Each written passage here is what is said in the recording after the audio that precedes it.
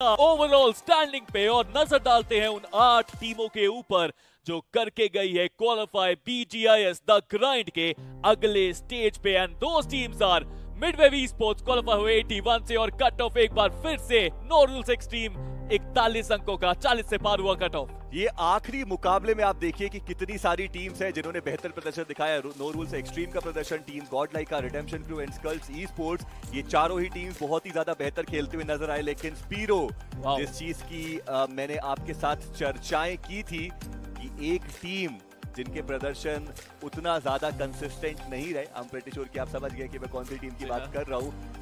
वो हमें top eight में आते हुए नज़र नहीं आएँगे और इसीलिए हम कहते हैं consistency is the key but आप देखिए मिडवे वी स्पोर्ट्स वो वीएसटी के भी ऊपर जाते हुए नज़र आएँगे। वीएसटी इकहत्तर अंक पे थे तीन मैचेस के बाद।